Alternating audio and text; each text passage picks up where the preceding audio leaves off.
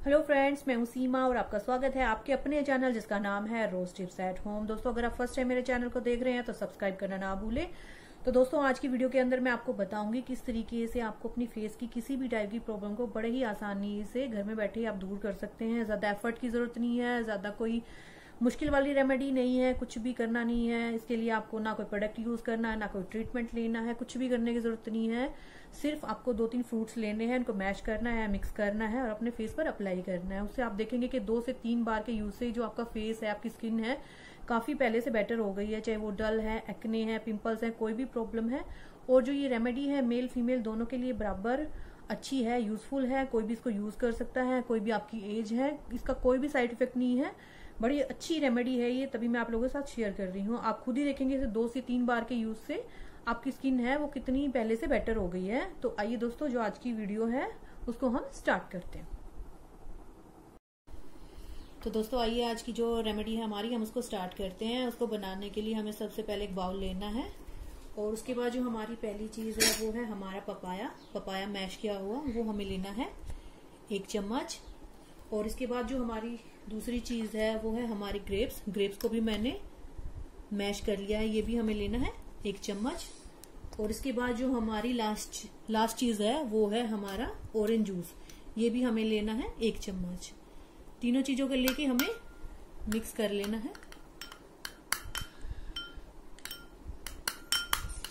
बस जो आज की हमारी रेमेडी है, वो तैयार हो गई है। अब मैं आपको बताऊँगी आपको इसको किस तरीके से अपने फेस पर अप्लाई करना है। तो दोस्तों, आपको इसको मिक्स कर लिया है मैंने और एक पैक ब्रश लेनी है। उसे इस तरीके से, इसे आपको अपने पूरे फेस पर लगाना है।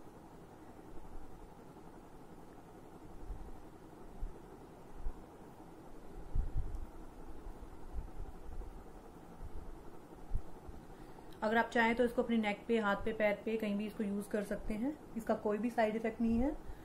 ये जो तीनों ही चीज़ें हैं, आपकी स्किन के लिए बेस्ट कॉम्बिनेशन है।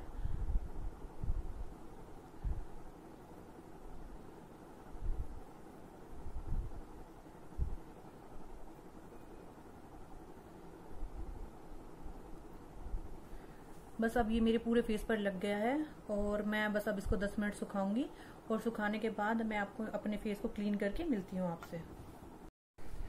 दोस्तों, जैसा कि आप देख रहे हो कि मैं अपने फेस को क्लीन करके आ गई हूँ रेमेडी को यूज़ करने के बाद और आप देख रहे होंगे कि एक बार के यूज़ से जो मेरा फेस है वो काफ़ी क्लीन फ्रेश हो गया है।